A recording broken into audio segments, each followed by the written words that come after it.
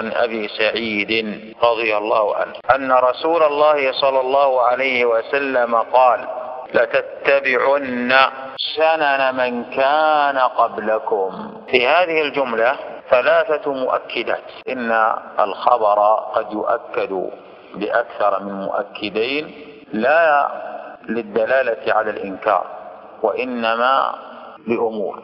إما لتقوية المؤكد وتعظيم شأنه فهو كما ذكر هنا لتقوية الكلام والتنبيه عليه.